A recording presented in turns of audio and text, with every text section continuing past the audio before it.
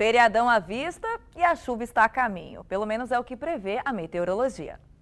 A nebulosidade aumenta devido a uma frente fria que avança para a região sudeste. Pode chover no fim do dia. Amanhã, feriado, a chuva ganha força. Hoje, as máximas chegam aos 28 graus em Cunha, 29 em São José dos Campos, Aparecida e Caraguatatuba.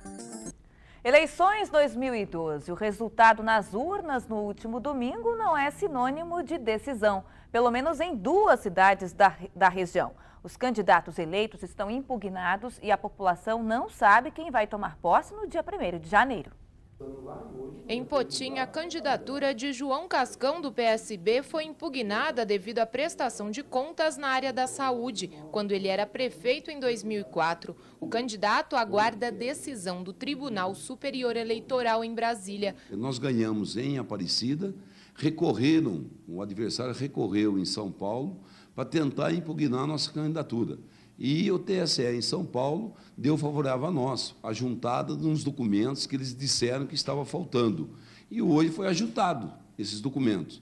E daqui está indo para Brasília, mas por quê? Porque na área da saúde nós tínhamos que gastar 15%, foi gasto 13,9% na área da saúde. E com esse valor que de 1% que faltou, aí o tribunal, foi na minha conta de 2004, teve um apartado.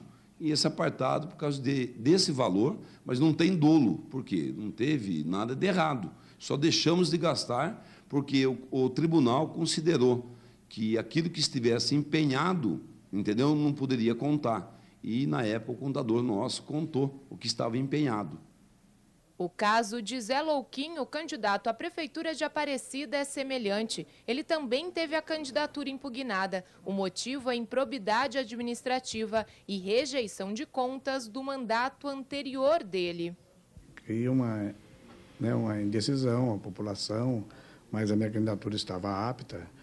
Né, então, nós é, fomos até o final como, como candidato, obtivemos essa essa votação expressiva aqui na cidade e estamos aguardando o julgamento.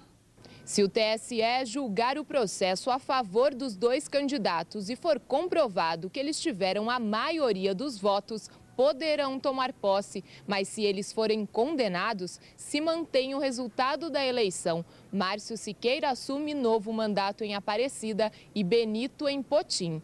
Os processos de impugnação de todo o país devem ser julgados pelo TSE até dezembro.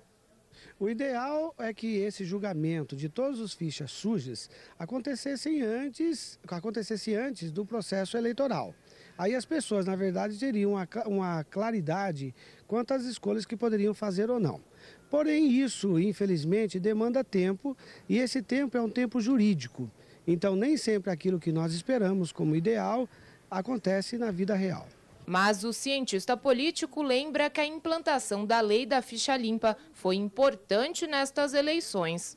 As pessoas que tenham, na verdade, alguma dívida em relação a essa projeção social é, ficaram excluídas ou tiveram seus nomes publicados, o que facilitou a escolha por parte dos eleitores. Em Monteiro Lobato, uma cidade acostumada a ser comandada por homens, essas eleições serviram para marcar a história. A partir de janeiro de 2013, quem dará as ordens é uma mulher. Na cidade, em homenagem a este homem notável, ícone da literatura infantil, quem vai mandar agora é uma mulher. Com 33,22% dos votos válidos, Daniela de Cássia Santos Brito, do PSB, foi eleita prefeita de Monteiro Lobato. Pela primeira vez na história do município, o chamado sexo frágil é quem vai dar as ordens por aqui. Se fosse homem ou mulher, para mim é a mesma coisa. O problema é. O importante é que ela vá trabalhar, que ela faça alguma coisa para gente, né? E talvez seja mais fácil conversar com ela do que com, com o homem. Né? Mulher ela tem um lado mais materno né, para as coisas, então acredito que a cidade tem muito a ganhar com tudo isso. Tem um toque feminino na prefeitura, eu acho que a cidade só tem a ganhar com, com o trabalho dela. Tenho certeza que a Daniela também vai ser uma prefeita ótima e nunca mais vai sair dessa prefeitura. Aos 33 anos, casada, mãe de um filho de 11 anos, Daniela entrou na política em 2001 quando foi secretária de gabinete do então prefeito João Bueno.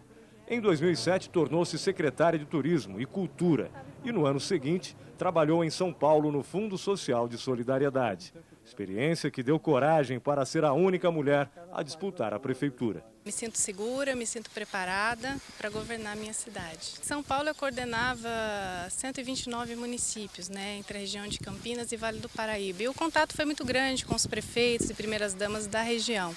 Isso me incentivou muito e um crescimento profissional e pessoal muito grande. E foi o que me fez sentir mais segura para disputar as eleições de 2012. Entrar para a história de Monteiro Lobato, não tenho nem palavras, é uma honra muito grande mesmo. Fomentar o turismo sustentável e incentivar o empreendedorismo rural estão entre as principais metas da nova prefeita, que pretende ainda criar um governo participativo, em que as pessoas vão ajudar a tomar as decisões. E os homens não vão ficar de fora da equipe de trabalho, que vai entrar por aquela porta a partir do dia 1 de janeiro. O secretariado será escolhido por competência, capacidade de administrar conflitos e principalmente de administrar pessoas. Prova disso está na formação da chapa vitoriosa. André Serux, que foi eleito vice de Daniela, não se incomoda em ser liderado por uma mulher. É uma satisfação porque, como nós vimos, tem muitas mulheres em cargos importantes, inclusive na presidência da República. Então eu acho que, para mim, ajudá-la é uma honra. Monteiro Lobato está seguindo o caminho né, que os outros lugares estão adotando também. Em toda a região metropolitana, haverá outras quatro mulheres no comando da Prefeitura em 2013. Em Piquete, assumirá Teca do PT. Em Queluz, Bela do PMDB. Em Cruzeiro, Ana Karen do PR. E em Bananal, Miriam Bruno do PV. Daqui a pouco, as atividades para o Dia das Crianças em Taubaté. Não perca, agora 1 e 8 a gente volta já já.